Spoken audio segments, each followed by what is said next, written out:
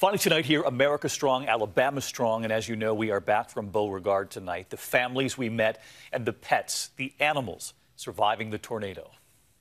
Tonight, the tight-knit town of Beauregard, Alabama, coming together, comforting one another, praying together, already helping to rebuild. Just devastating, isn't it? Uh, yeah, I can't believe it. It's unbelievable. We met Sherry McClendon and her husband Billy, returning to the property their family had just sold to a couple months ago. What was the age range of the couple that bought this house? They were young. They were in their 20s. 20s. Young, yeah. yeah. And they didn't survive. I, we hadn't found them. We don't know. We don't know. They believe their names were on the list.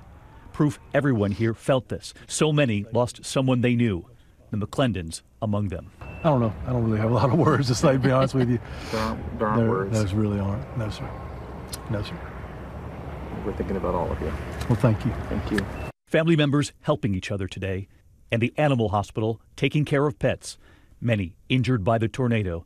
And there was Buck looking up. Tonight, we've just learned he's been reunited with his family. We are with the people and the pets of Beauregard. I'm David Muir. I hope to see you right back here tomorrow. Until then, good night. Hi, everyone. George Stephanopoulos here. Thanks for checking out the ABC News YouTube channel. If you'd like to get more videos, show highlights, and watch live event coverage, click on the right over here to subscribe to our channel. And don't forget to download the ABC News app for breaking news alerts. Thanks for watching.